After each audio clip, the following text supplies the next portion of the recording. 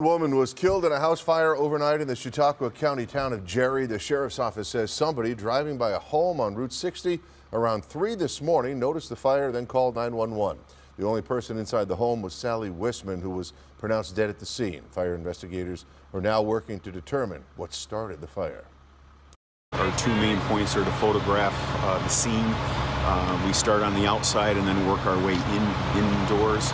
Uh, we also want to talk to any witnesses or residents that, that might have information about um, the house, the layout, um, what they heat with, if there's any electrical problems, things like that.